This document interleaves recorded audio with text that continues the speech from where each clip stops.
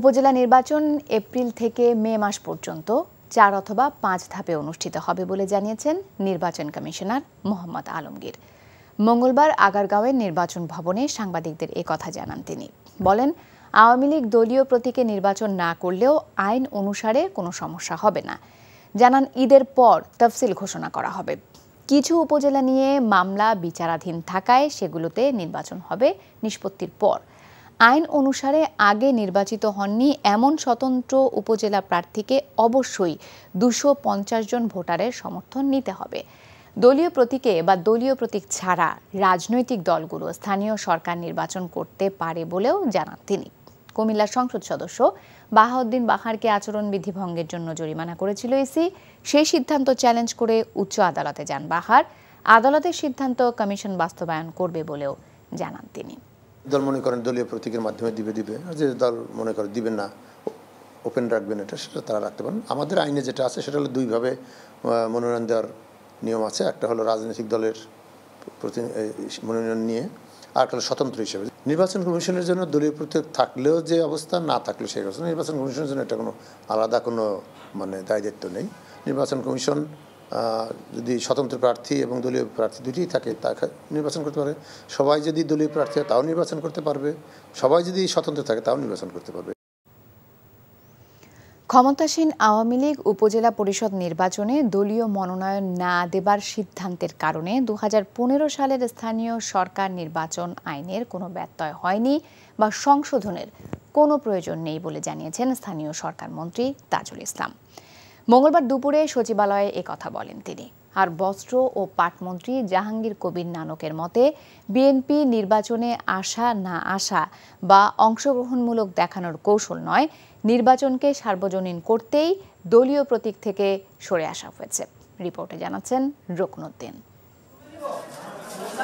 দুই হাজার পনেরো সালে পৌরসভা ইউনিয়ন পরিষদের মতো নির্বাচনে দলীয় প্রতীকে প্রার্থী মনোনয়ন দিতে সংশোধন করা হয়, তারও ছয় বছর আগে করা স্থানীয় সরকার আইন। আবারও সেই সিদ্ধান্ত থেকে সরে এসে আসন্ন স্থানীয় সরকার নির্বাচনে দলীয় প্রতীকে কাউকে মনোনয়ন দিচ্ছে না ক্ষমতাসীন দল আওয়ামী লীগ। মঙ্গলবার সচিবালয়ে এক বৈঠক শেষে স্থানীয় সরকার মন্ত্রীর কাছে সাংবাদিকদের প্রশ্ন ছিল, এই সিদ্ধান্তের ফলে আবারও আইনে পরিবর্তন আনতে হবে কিনা? আইনটা যেভাবে করা আছে তাতে করে দলীয় প্রতীকও হতে পারে দলীয় প্রতীক ছাড়া হতে পারে। অর্থাৎ কোনো দল যদি কাউকে মনোনয়ন দিয়ে প্রতীক দেয় তাহলে সেখানে নির্বাচন দলীয় প্রতীকে হবে। আর এখন এছাড়া আরও অপশান আছে কেউ স্বতন্ত্র ইলেকশন করতে পারে। আমি আইনটা দেখেছি আইনটা ঠিক আছে। দল থেকে তো সিদ্ধান্ত নেওয়ার সুযোগ আছে। আইনটা যেভাবে আছে আইনে সংশোধনের কোনো উদ্যোগ আছে কিনা? না আইন সংশোধনের কোনো প্রয়োজনীয়তা নাই এখানে। এদিকে মঙ্গলবার সকালে সচিবালয়ে বস্ত্র ও পাট মন্ত্রীর সাথে সৌজন্য সাক্ষাৎ করেন বাংলাদেশে নিযুক্ত মিশরের রাষ্ট্রদূত। সাক্ষাৎ শেষে মন্ত্রীর কাছে সাংবাদিকরা জানতে চান, দুই হাজার ষোলো ও দুই হাজার একুশ সালে স্থানীয় সরকার নির্বাচনে রেকর্ড সহিংসতা নাকি বিএনপি না আসলে অংশগ্রহণমূলক দেখানোর কৌশল হিসেবে আওয়ামী লীগের এমন সিদ্ধান্ত? এখানে কোনো কৌশলগত বিষয় নেই। এখানে আমরা নির্বাচনটিকে আমরা সার্বজনীন করার জন্যই আমরা দলীয় প্রতীক থেকে আমরা সরে এসেছি। আমরা স্বাগত জানাব। আমি জানি তাদের থাকবে কিনা জানি না। আমাদের দলীয় প্রতীক থাকবে না। জনগণের অংশগ্রহণ মানেই যে অংশগ্রহণমূলক নির্বাচন বিশ্বের কাছে প্রধানমন্ত্রী তা প্রমাণ করে দিয়েছেন বলেও জানান Jahangir Kabir Nanak. Rokonuddin NTV news Dhaka. আসছে স্থানীয় সরকার নির্বাচনে দলীয় প্রতীকে নির্বাচন না করার ঘোষণাকে আওয়ামী লীগের পরাজয় বলে মন্তব্য করেছেন বিএনপির স্থায়ী কমিটির সদস্য আব্দুল মঈন খান। এছাড়া এই সরকারের অধীনে কোনো নির্বাচনে বিএনপি অংশ নেবে না বলে জানিয়েছেন দলের যুগ্ম মহাসচিব রিজভি আহমেদ। মঙ্গলবার রাজধানীতে আলাদা অনুষ্ঠানে এসব কথা বলেন তারা, জানাচ্ছেন মহিদুল ইসলাম। বিএনপির প্রতিষ্ঠাতা জিয়াউর রহমানের জন্মবার্ষিকী উপলক্ষে ঢাকা রিপোর্টার্স ইউনিটিতে ওলামা দল আয়োজিত এক আলোচনা সভায় বিএনপির স্থায়ী কমিটির সদস্য ডক্টর আব্দুল মঈন খান সাত জানুয়ারি নির্বাচন নিয়ে সরকারের সমালোচনা করেন। একই সাথে আসন্ন উপজেলা পরিষদ নির্বাচন নিয়েও কথা বলেন তিনি। আগামী উপজেলা যে নির্বাচনের কথা সরকার কয়েকদিন আগে ঘোষণা করেছিল মার্চ মাসে হবে তারা নিজেরা পরাজয় স্বীকার করে তারা নিজেদের নৌকা নিজেরাই ডুবিয়ে দিয়েছে। তারা নাকি আর নৌকা নিয়ে নির্বাচন করবেন এটা কি তাদের আত্মস্বীকৃত পরাজয় নয়? জনগণ তারা যে বুঝতে পেরেছে মুখে যাই করুক হুমকি ধামকি মুখে যাই দেখ যারা যত লাফালাফি করুক না কেন, সাতই জানুয়ারির নির্বাচন নিয়ে, তারা নিজেরা তাদের অন্তরে বুঝতে পেরেছে বাংলাদেশের মানুষ নৌকা প্রত্যাখ্যান এবং সেই কারণে তারা নিজেরাই নৌকাকে ডুবিয়ে রাজধানীর নয়াপল্টনে বিএনপির কেন্দ্রীয় কার্যালয়ে দলের সিনিয়র যুগ্ম মহাসচিব রিজবি আহমেদ ব্রিফিংয়ে তুলে ধরেন আগামী উপজেলা পরিষদ নির্বাচনে বিএনপির অংশ নেয়া বা না নেয়া প্রসঙ্গ। এর অধীনে কোনো নির্বাচন কখনোই শান্তিপূর্ণ বিশ্বাসযোগ্য এবং সুষ্ঠু হবে না। কিন্তু এখন পর্যন্ত আমাদের কাছে যে সিদ্ধান্ত যে শেখ হাসিনার অধীনে কোনো নির্বাচন আমরা যাব না কারণ তার অধীনে নির্বাচন কখনোই অবাধ সুষ্ঠু হয় না। এদিকে দেশের গণতন্ত্র এবং গণতান্ত্রিক প্রতিষ্ঠান নিয়ে সরকার রসিকতা করছে বলে মন্তব্য করেছেন বিএনপির আরেক স্থায়ী কমিটির সদস্য নজরুল ইসলাম খান। কারণ এইবার বাংলাদেশের রাজনীতির ইতিহাসে নতুন একটা কিছুর দৃষ্টান্ত হলো। দামি প্রার্থী। দামি তো সবাই বুঝি আমরা আর কি। এই নির্বাচন কমিশনও দামি। সরকারের বিভিন্ন প্রতিষ্ঠানগুলিও আচরণ ওরকমই। Moidul Islam NTV news Dhaka. সাত জানুয়ারির নির্বাচন ছিল একতরফা ও আসন ভাগাভাগি নির্বাচন। এমন মন্তব্য তুলে ধরা হয়েছে সুশাসনের জন্য নাগরিক সুজনের নির্বাচন বিশ্লেষণে। সংস্থাটি বলছে, গত পনেরো বছরে ক্ষমতার জাদুর কাঠির স্পর্শে শুধুই ধনী হয়েছেন ক্ষমতাসীন আওয়ামী লীগের নেতারা আর নতুন এমপিদের নব্বই শতাংশই কোটিপতি। মঙ্গলবার অনলাইন সংবাদ সম্মেলনে এসব তথ্য তুলে ধরা হয়। হাসান মাহমুদের রিপোর্ট।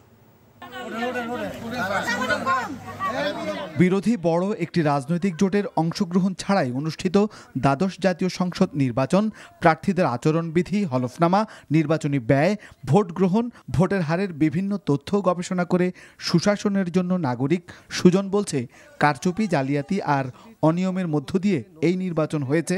সমমনাদের মধ্যে আসন ভাগাভাগির একতরফা নির্বাচন, যার ভোটের হার নিয়ে বিতর্ক তৈরি করেছে কমিশনই। সুস্পষ্ট, নির্বাচন কমিশনেই এই ভোটের কত কত শতাংশ ভোট পড়েছে সেই বিষয়টা নির্বাচন কমিশন নিজেরাই বিতর্কিত করেছে। তো এখন এই নিয়ে যে নির্বাচন কমিশনের অনেক কাজ নিয়ে বিতর্ক সৃষ্টি হয়েছে। পর্যবেক্ষণ করার জন্য অনুমতি দেওয়া হলো। যারা যারা মেহমান ছিল, যারা কিন্তু আসলে নির্বা- নির্বাচন পর্যবেক্ষক নয়।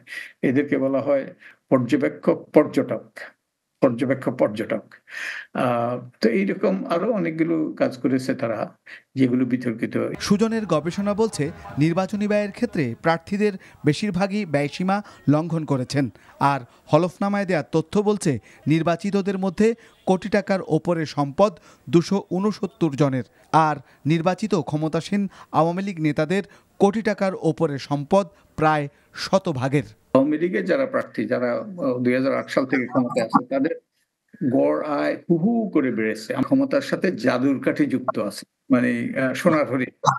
যে যা বলিস ভাই, আমার সোনার হরিণ চাই। সুজনের গবেষণা বলছে, সংসদে ব্যবসায়ীদের আধিপত্য ব্যাপক মাত্রায় বেড়েছে। আর নির্বাচন পূর্ববর্তী ও পরবর্তী সহিংসতায় মানুষের প্রাণ যাওয়া বার্তা দিয়েছে ভয়ের। Hasan Mahmud NTV news, Dhaka. শরীফার গল্পের মতো পাঠ্য বইয়ের বিভিন্ন বিষয় নিয়ে একটি গোষ্ঠীর মধ্যে অস্থিতিশীল পরিস্থিতি সৃষ্টির প্রবণতা আছে বলে জানিয়েছেন শিক্ষামন্ত্রী মহিবুল হাসান চৌধুরী। মঙ্গলবার দুপুরে সচিবালয়ে বাংলাদেশে নিযুক্ত ফ্রান্সের রাষ্ট্রদূত মেরি মাজদুপুইয়ের সাথে সৌজন্য সাক্ষাৎ শেষে সাংবাদিকদের প্রশ্নের জবাবে একথা বলেন তিনি। পাঠ্যবইয়ের উপস্থাপনা, তথ্য নিয়ে বিভ্রান্তি থাকলে বিশেষজ্ঞদের সাথে আলোচনা করে পরিবর্তন করা হবে বলেও জানান মন্ত্রী। তবে শিক্ষাবর্ষের প্রথম মাসেই এমন সমালোচনার ভিন্ন উদ্দেশ্য আছে কিনা তা খতিয়ে দেখা হবে বলেও জানান। শিক্ষার্থীদের বইয়ে কাগজ ও ছাপার মান কিছু কিছু ক্ষেত্রে কমছে। যারা এমন করেছে, তাদের বিরুদ্ধে দ্রুত ব্যবস্থা নেবার কথাও জানান শিক্ষামন্ত্রী।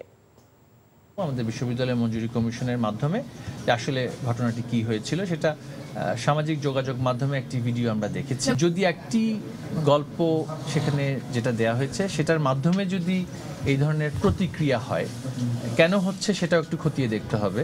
তবে আপনারা জানেন যে আমাদের দেশে একটা গোষ্ঠী নানান বিষয়ে ধর্মকে ব্যবহার করে হোক বা আমাদের অনুভূতি, ধর্মীয় অনুভূতিকে ব্যবহার করে হোক, নানান সময়ে অরাজকতা করা বা পরিস্থিতিকে অস্থিতিশীল করার একটা প্রবণতা তাদের মধ্যে আছে। শ্রম আইন লঙ্ঘনের দায়ে নোবেল জয়ী ডক্টর মোহাম্মদ ইউনুসকে দেয়া সাজার বিরুদ্ধে আপিল করতে প্রয়োজনীয় নথিপত্র শ্রম আদালত থেকে দেয়া হচ্ছে না বলে অভিযোগ করেছেন তার আইনজীবী। মঙ্গলবার তার আইনজীবী ব্যারিস্টার আবদুল্লাহ আল মামুন সাংবাদিকদের জানান, রায় ঘোষণার দশ দিন পর রায়ের কপি হাতে পেয়েছেন। কিন্তু এখনও মামলার অন্যান্য নথিপত্র দিতে গড়িমসি করা হচ্ছে। মূলত ডক্টর ইউনুসকে হয়রানি করা হচ্ছে বলে অভিযোগ করেন তিনি। এমনকি শ্রম আইনের ব্যত্যয় ঘটিয়ে এক মাসের মধ্যে আপিলের শর্তে জামিন দেওয়া হয়েছে বলেও জানান তিনি।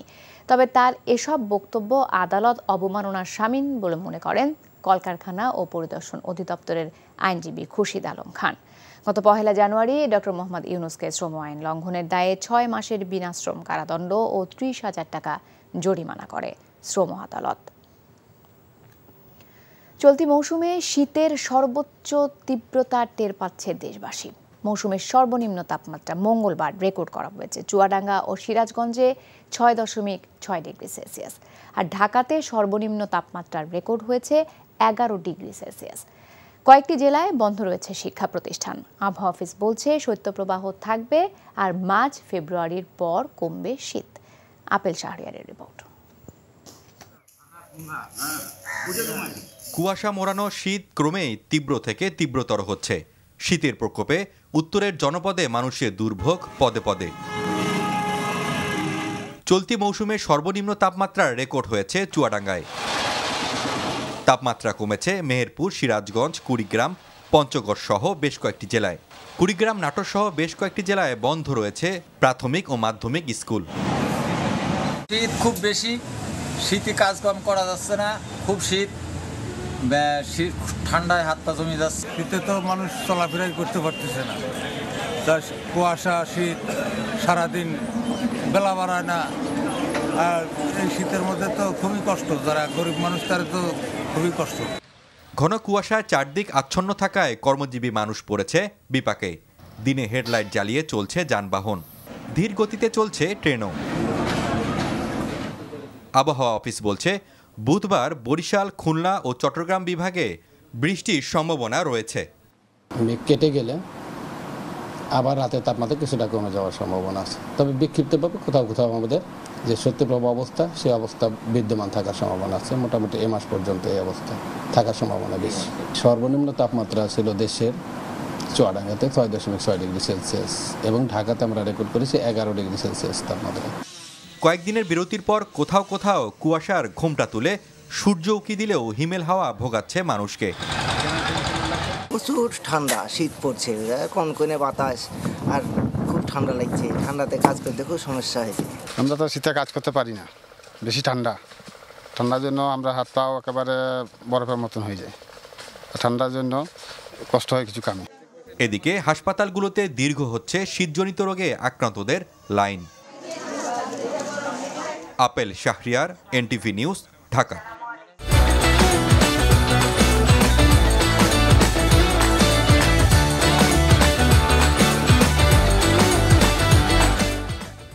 Rohingya ও আশ্রয়দাতা সম্প্রদায়ের জন্য সাতশো মিলিয়ন ডলার সহায়তা দেবে বিশ্ব ব্যাংক বলে জানিয়েছেন পররাষ্ট্রমন্ত্রী হাসান মাহমুদ।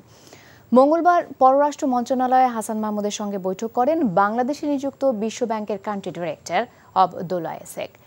বৈঠক শেষে কথা জানান মন্ত্রী। তিনি বলেন, এই অর্থের ভেতর তিনশো পনেরো মিলিয়ন ডলার রোহিঙ্গাদের জন্য আর বাকি তিনশো পঁচাশি মিলিয়ন ডলার রোহিঙ্গা ও আশ্রয়দাতা সম্প্রদায়ের জন্য সফট লোন হিসেবে দেয়া হবে। মন্ত্রী জানান, বিশ্ব ব্যাংক বাংলাদেশের সাথে সম্পর্ক আরও জোরদার করে একসাথে কাজ করার আগ্রহ প্রকাশ করেছে।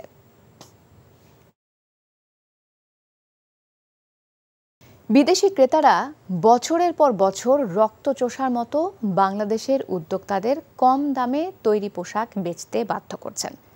মঙ্গলবার এক গোলটেবিল আলোচনায় এমন অভিযোগ করেছেন। বিকেএমই এর নির্বাহী সভাপতি মোহাম্মদ হাতেম। এ সময় বিজিএমই সভাপতি ফারুক হাসান বলেন, শ্রমিকদের উন্নয়নের জন্যই পোশাকের ন্যায্য মূল্য নিশ্চিত করা উচিত বিদেশি ক্রেতাদের। এ প্রসঙ্গে ইইউ রাষ্ট্রদূত চার্লস হোয়াইটলি ক্রেতাদের দোষারোপ না করে নিজেদের দর কষাকষির সক্ষমতা বাড়ানোর পরামর্শ দেন। হাসানুল শাওন জানাচ্ছেন বিস্তারিত। বাংলাদেশের তৈরি পোশাকের বড় রপ্তানি বাজার যুক্তরাষ্ট্র এবং ইউরোপীয় ইউনিয়নের দেশগুলো। তবে দীর্ঘদিন ধরেই গার্মেন্টস মালিকদের অভিযোগ, বিদেশি ব্র্যান্ড বায়াররা নিত্য নতুন নিয়ম করার পাশাপাশি কমপ্লায়েন্সের বিষয়ে বেশ সরব হলেও তৈরি পোশাকের ন্যায্য মূল্য দিচ্ছে না। International business forum of Bangladesh আইবিএফবির আলোচনায় ব্যবসায়ী নেতারা বলেন দেশের তৈরি পোশাক শিল্পে শ্রমিকদের অধিকার এবং নিরাপদ কর্মপরিবেশ নিশ্চিতে যথাযথ উদ্যোগ নেওয়া হয়েছে। তবে এখনও পণ্যের ন্যায্য মূল্য মিলছে না। তারা তো আমাকে ইথিক্যাল ট্রেনিং আমাকে শেখাচ্ছে। তাহলে তারা যখন ইথিক্যাল ট্রেনিং শেখাচ্ছে সেখানে কি তারা এটা দেখতেছে না যে আমি নিয়ে এটা লস করতেছি? সুতরাং তাকে একটা ইথিক্যাল প্রাইস দেওয়া দরকার। এটা তো এনশিওর হওয়া দরকার। এটা তাদের দিক থেকে ওইটাকে এগিয়ে আসতে হবে। I like to say all brands and buyers are bloodsucker of Bangladesh apparel industry. Sorry to say. Price is a factor আমরা এখনও বায়ারদের কাছে আপিল করছি এবং আমরা চাচ্ছি যে প্রাইসটা তারা যেন এথিক্যাল প্রাইসিং করে সোর্সিং করে। এ সময় ইইউ রাষ্ট্রদূত বলেন পণ্যের ন্যায্য মূল্য দেওয়া উচিত ক্রেতাদের তবে সেটি দর কষাকষি করে আদায় করে নিতে হবে বলেও জানান তিনি। শ্রমিকদের উন্নয়ন সহ নানা কারণে আরএমজি পণ্যের ন্যায্য মূল্য দেওয়া দরকার। তবে বিদেশি ক্রেতাদের দোষারোপ না করে পণ্যের সঠিক দাম পেতে উদ্যোক্তাদেরও নিজেদের সক্ষমতা বাড়ানো উচিত। শিল্প নিরাপদ হবে এবং পণ্যেরও সঠিক মূল্য মিলবে সেটাই আমরা চাই। বাংলাদেশ থেকে দুই ডলার বা তার কম দামে একটি পণ্য কিনে ইউরোপের বাজারে তা বিশ ডলারে বিক্রি করার অন্যায্য বিষয়টিও ডিউ ডিলিজেন্স আইনে থাকা উচিত বলেও মত দেন ইন্টারন্যাশনাল বিজনেস ফোরামের নেতারা। Hasanul Shaon NTV news Dhaka.